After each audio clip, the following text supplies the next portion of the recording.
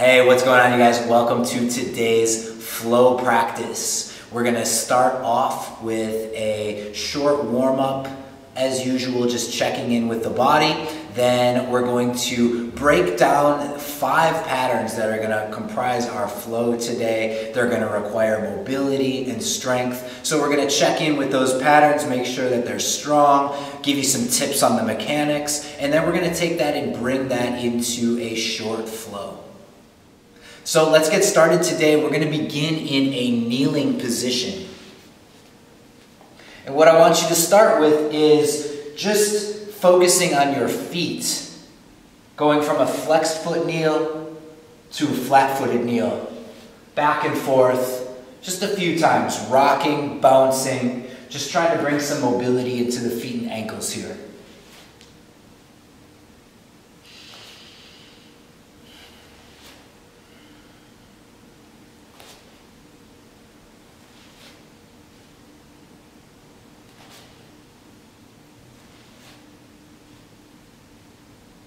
You can plant your fingertips ahead of your knees and begin to rock forward and back. Just bringing your knees down to kiss the ground and rock back up.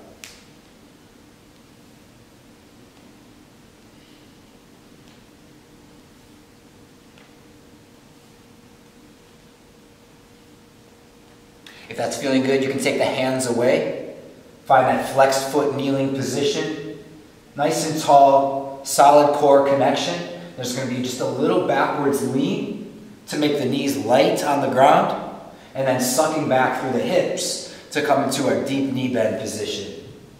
Trying to perch up on your heels, elongate your spine, and really try to squeeze your hamstrings and your calves. So this isn't just a passive position hanging out here, could be, but in our case, we're trying to create some activation. And maybe you can feel that by adding just a little bit of a bounce. Keep working through that pattern just a few times.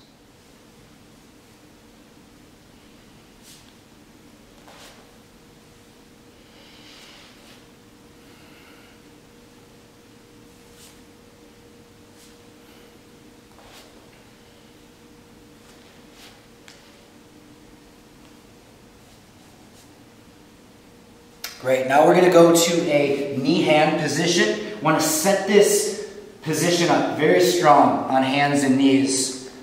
Arms are locked out. Pits of the elbows are spun forward and pressing actively through the hands, spreading the shoulders across the back and creating length from the crown of the head to the tailbone. So make sure that you're not falling into the shoulders or collapsing in the midsection. Press in, elongate. From that strong position there, we can continue to create some mobility around the shoulder blades by sinking into the shoulders. Keep the arms straight. Draw the shoulder blades together. Feel a little squeeze there. That's retraction. And then pressing through your hands. Press your upper back to the ceiling and feel your shoulder blades spread across your back. Protraction. Retract and protract. Again, this is just for the sake of building some mobility, building uh, some awareness and connection with your shoulder blades. You want to make this action smooth and hopefully get a pretty good range of motion here.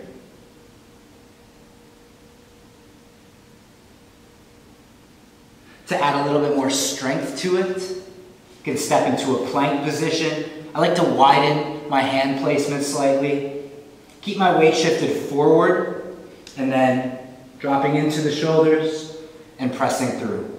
Retract, press into protraction.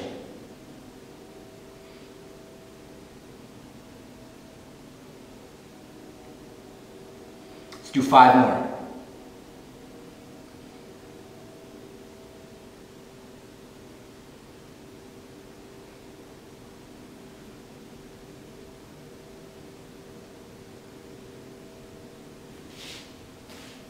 Return to knee hand position. And in between sets here is always a good idea to give your wrists some love.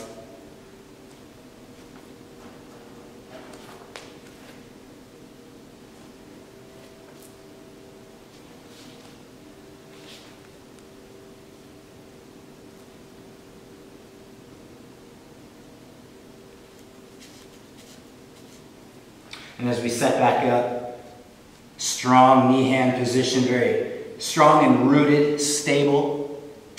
We're going to go into a diagonal reach. So I'm to take my left arm, reach diagonally underneath my body, and set my shoulder down to the mat. Then I'm to take that same arm, rotate open, even allow the same side leg hip to rotate open, reach. Bring the arm down, reach under, rise up, open, open.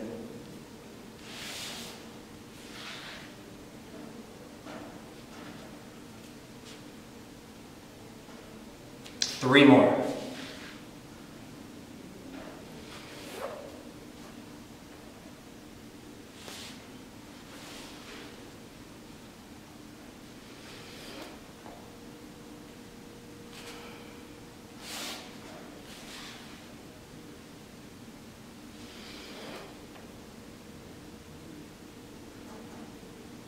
Switch to the other side, six reps.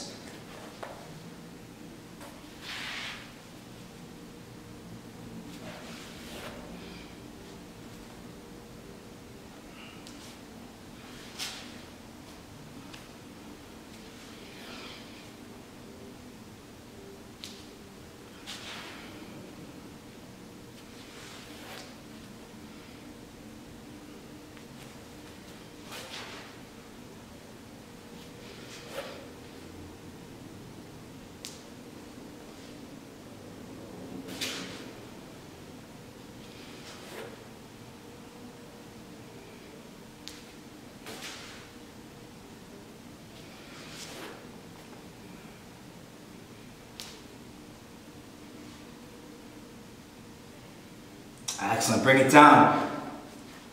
One more drill in our knee hand position. Setting up here. Strong limbs, strong core. Then extending the opposite arm and leg. Bringing the elbow and knee to touch. Extend and touch. Let's do eight more.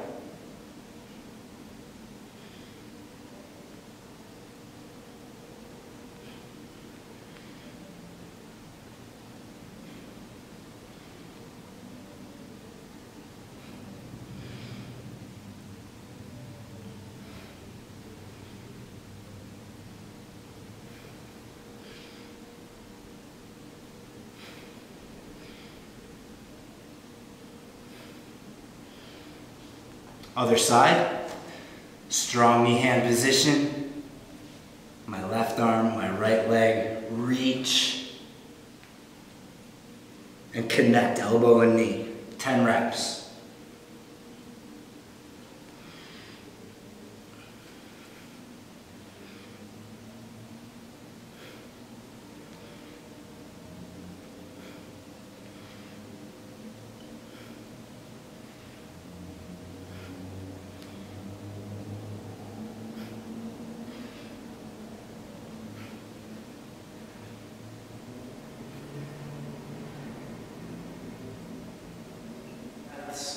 Actually throw one more drill in here from our knee hand position. Picking up one leg, taking the hip into extension, pressing the sole of the foot up, reaching up towards the ceiling. Keep those shoulder blades spread and keep this out of the lower back and the back extending, but really try to make it come from the glute, extending the hip. And then be reaching over. Lift, reach. Maybe taking this hip through a range of motion here, lifting and reaching.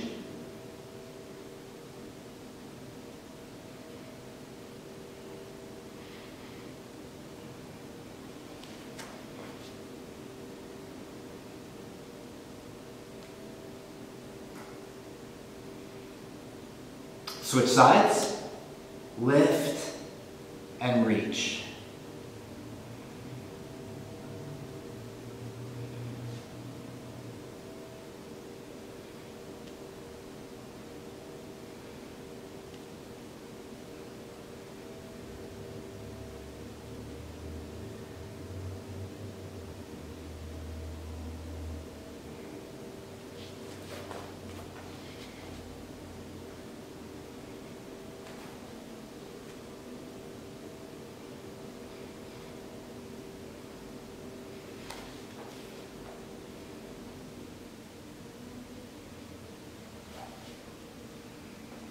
excellent. Coming in, just warming up with a few presses here, sinking in, allowing the elbows to bend, but maintaining the shoulder stability so the shoulders are drawn down away from the ears. And as you bend the elbows back, lowering the face towards the ground, pressing back up to those locked arms. So really want to avoid shrugging the shoulders here, keeping the neck long, leaning forward, continuing to press in to the ground through the hands. Shift your weight back. Allow your elbows to contact the ground. Leaning forward and back. As you lean forward, press into the hands. Forward, press into the hands. Begin to lift the elbows. Press up. Sit back. Drop the elbows. Try to keep those elbows squeezing inward. Shift forward. Press into the hands. Lift the elbows. Press up.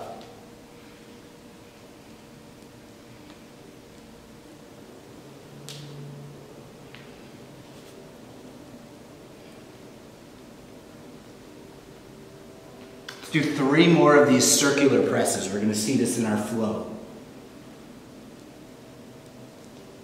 Lift, stabilize, press up, sit back, drop, shift forward, press into the hands, lift the elbows, press up. Last one.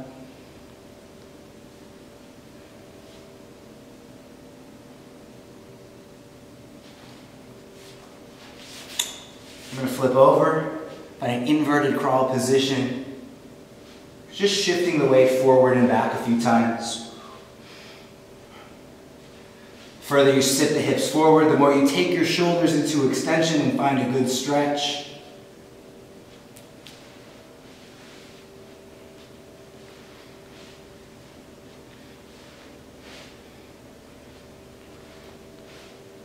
Two more. One, shift back, keep pressing in, pull forward, find that stretch.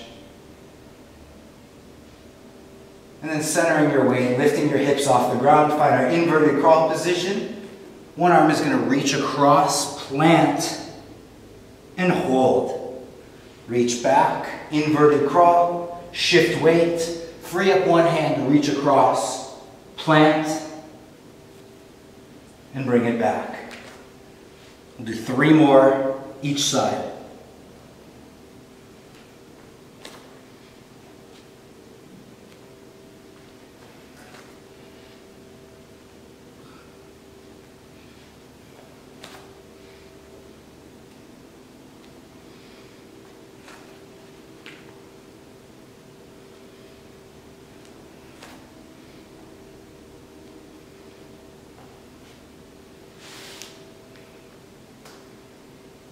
Piece of our warm up here, we're gonna go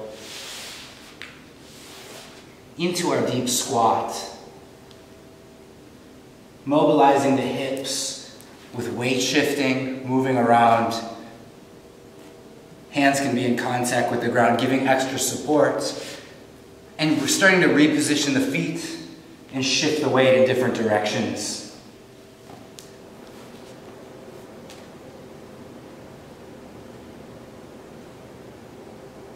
From that deep squat, allowing the hips to elevate and you're finding a deep hinge with a relaxed spine.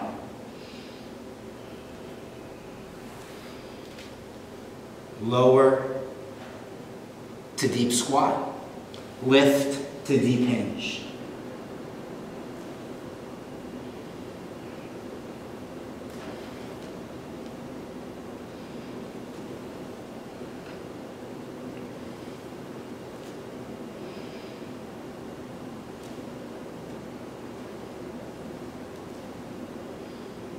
As you come up into the deep hinge, maybe setting the hands out in front of the feet. and shifting the weight forward, bearing some weight in the locked out arms.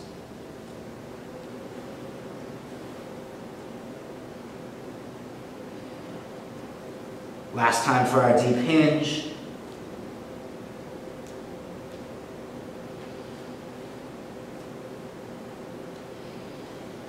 Pull down into the deep squat.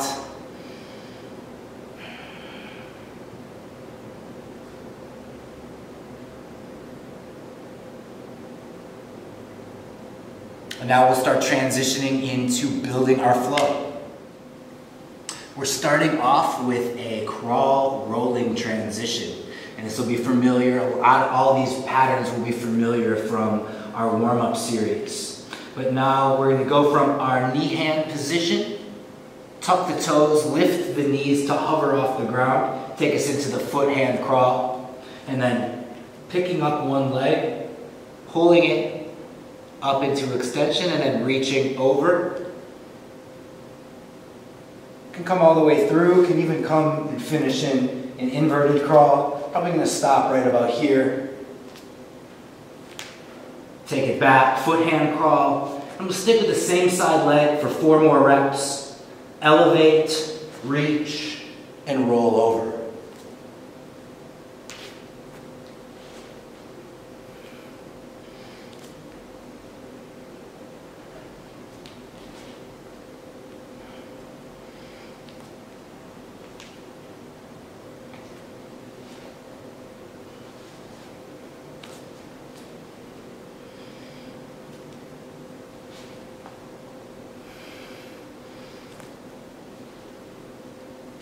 Five reps on the other side. Lift, reach, and roll.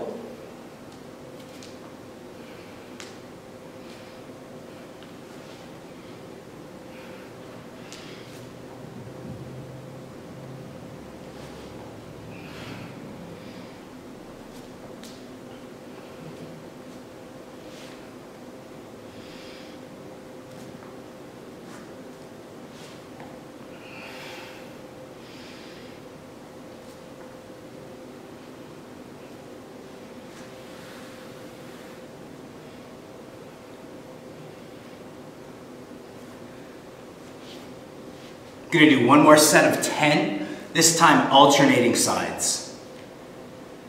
Strong knee hand position. Tuck the toes, lift the knees, foot hand crawl position.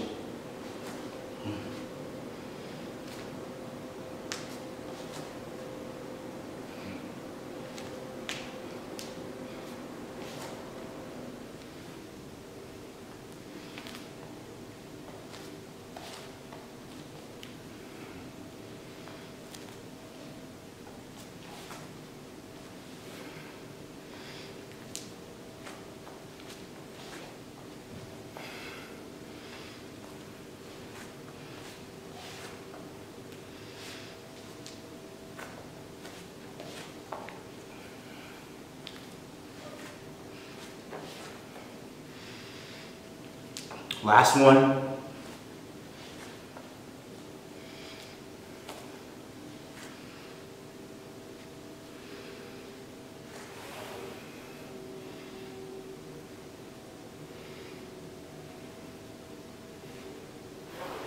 Next pattern we're going to go into is a circular press.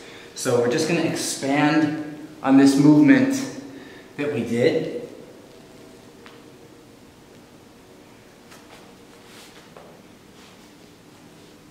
Loading the hips back. Maybe at this point, pressing in through the feet and the hands to lift the knees. Drop the elbows. Shift forward. Weight presses into the hands. Press up. And maybe finishing in a spinal extension before lifting the hips, pressing through, protracting those shoulders sitting back drop, shift forward, press in, press up, spinal extension.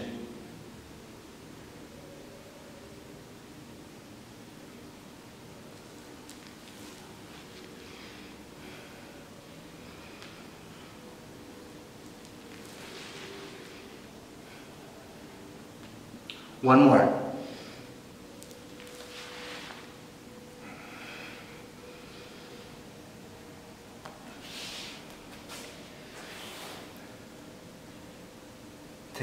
Rest, breathe, counter stretch.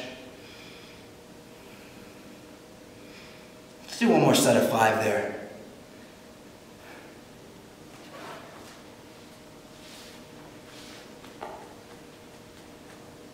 Setting this up here.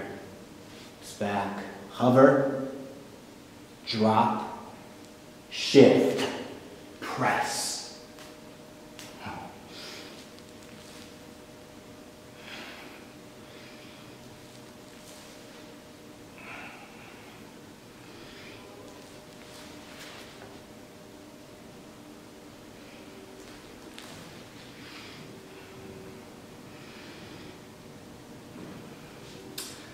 It's a very challenging movement, but you can self-spot by keeping weight on your knees.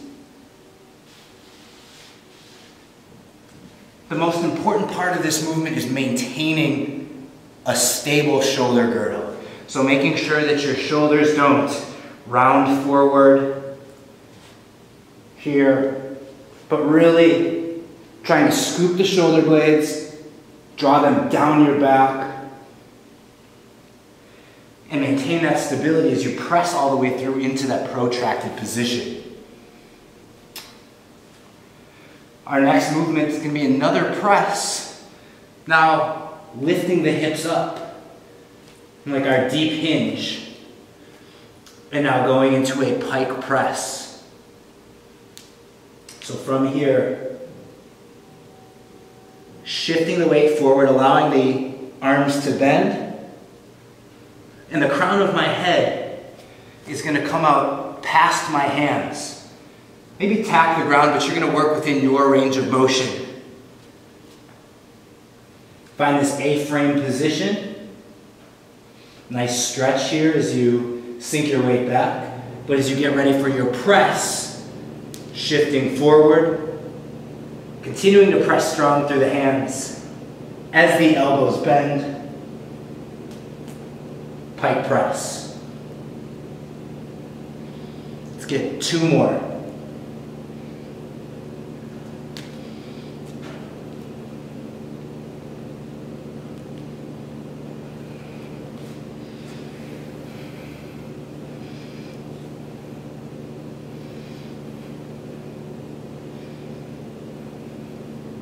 One more set, three or four reps, it's up to you. Play around with this movement. You're looking to figure out your range of motion and your variation of this pattern.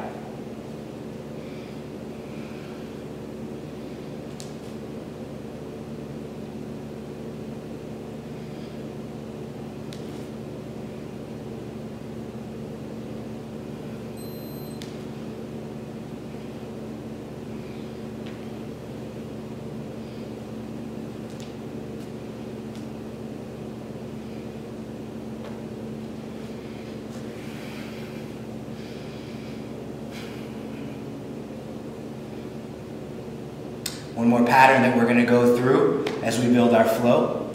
Since we're already in this crawling position,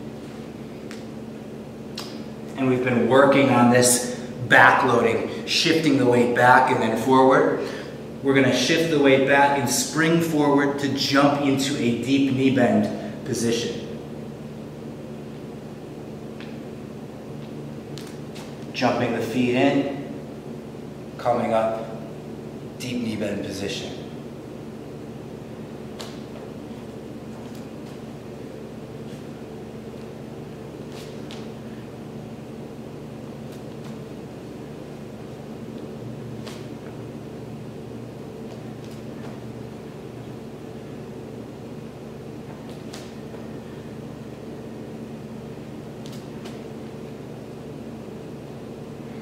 From this deep knee bend position, just like our warm-up, we've got the option to lower to kneeling.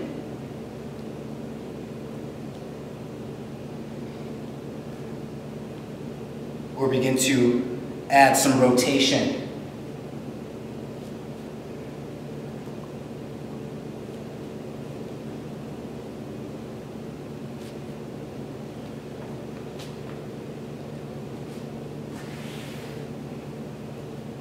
Let's get one more set of five in this pattern. Foot hand crawl, back load, jump forward, deep knee bend.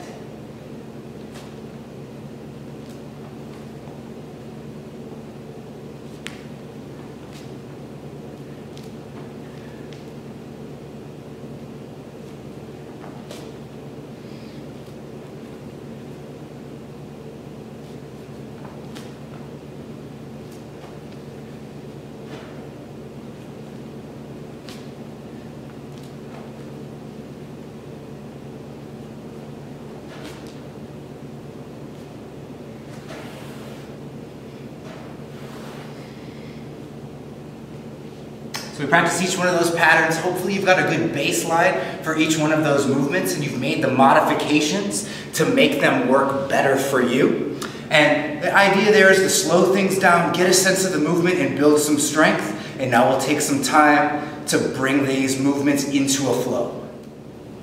So as we work on this flow, we're going to want to cut the reps short and be able to smoothly, quickly transition from one pattern to the next. We'll take the first round or two slow and then start to fall into a rhythm and find that quality of fluidity and smoothness to piece these movements together.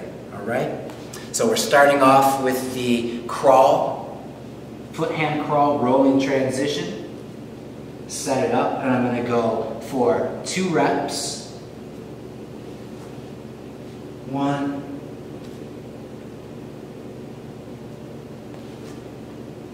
two, and sinking back, circular press, dropping down, shifting, pressing up,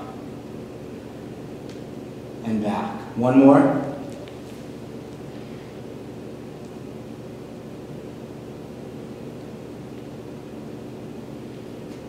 Rising the hips up. Finding that deep hinge position, two pike presses.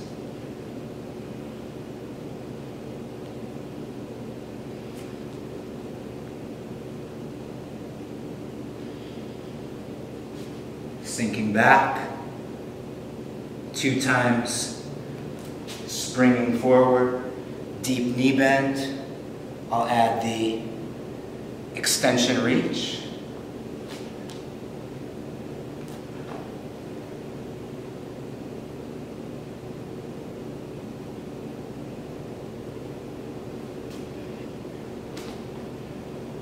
Back.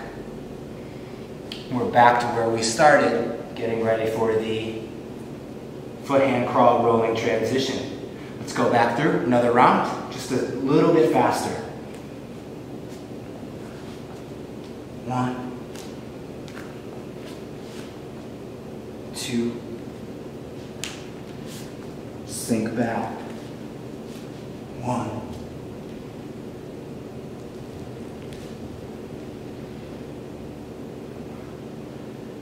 two, rise up, pike press for two, one,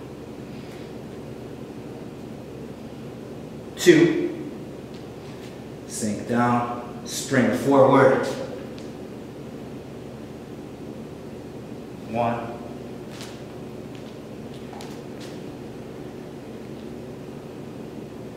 two.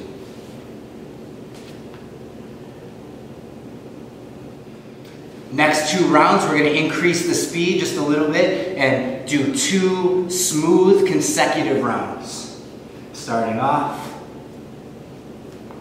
foot hand crawl position, and reach, roll, one, two, sink back, one,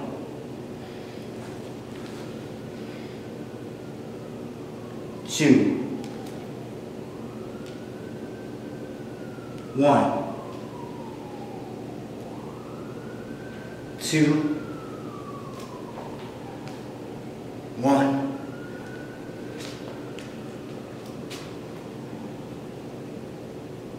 two,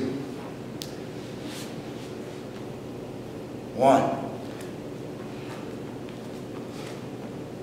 two.